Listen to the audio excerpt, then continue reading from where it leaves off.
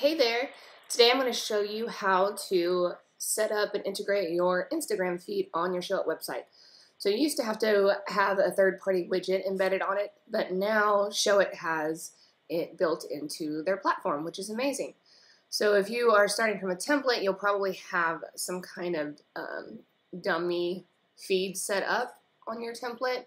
Um, and what you can do, if that's the case, is you can click it, you're going to go it'll pull up the social grid settings and you can click choose account and it'll prompt you to connect your account. So you'll follow those instructions um, that Showit provides.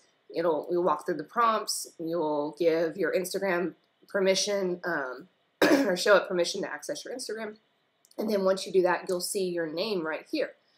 And so you can select your name. There's my Instagram feed. You have these options, show video posts, um, all those things. You can edit the style of your feed. Maybe you want a gap between your images or you want two rows. Um, you can edit all that and then drag and move it around kind of as needed, similar to any other element on your um, Showit account. So now, if you do not have an Instagram feed set up or you're building something from scratch, then you are going to go down to this little icon and click Social Grid. And here again, it's saying connect to Instagram. And so you would uh, set this up again.